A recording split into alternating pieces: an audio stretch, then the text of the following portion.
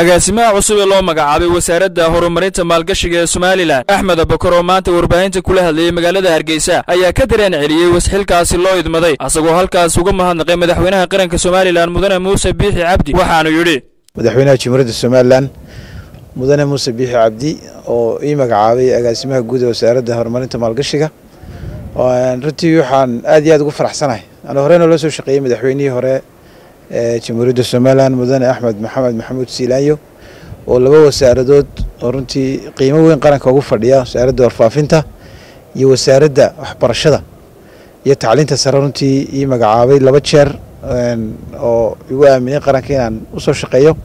In maantana madaxweynihii cusbaa oo runtii gartay inaan xukuumaddiisa cusub ka tirsanaado una sii adeeguna sii adeega qaranka runtii aniga sharaf gaar ah iyo farxad gaara bay tahay.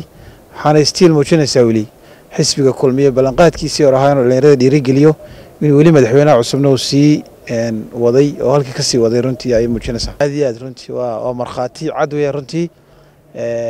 Anugu runtii dadkii waddankan wax ku bartay baan ahay. Aana weligoodna ka bixin.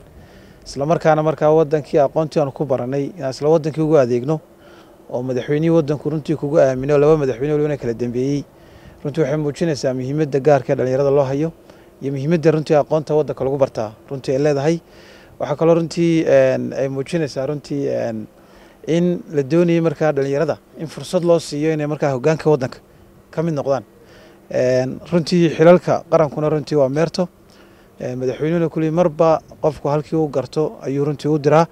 Waanu ku faraxsanay runtii in wasaaradda ay diro. Waxaana rajaynayaa in ilaahayna igu asturo inaan wasaaradda runtii ka qabanno waxa madaxweynuhu naga filayo cabdisamed cali axmed star t hargeysa